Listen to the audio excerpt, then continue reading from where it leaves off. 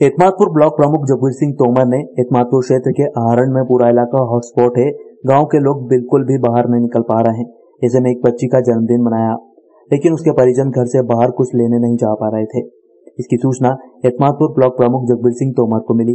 उन्होंने जाकर एक साल की बच्ची शिवी को केक दिया। कपड़े दिए, उसका केक कटवा कर उसका मनोबल बढ़ाया।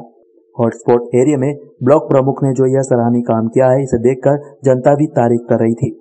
उसके घर वाले भी बहुत खुश हुए। बहुत अच्छा लगा ऐसे में बिल्कुल हम तो हॉट स्पॉट था तो पड़े हुए थे ऐसे ही सारे लोग घर में बंद थे पहला जन्मदिन था नातनी का।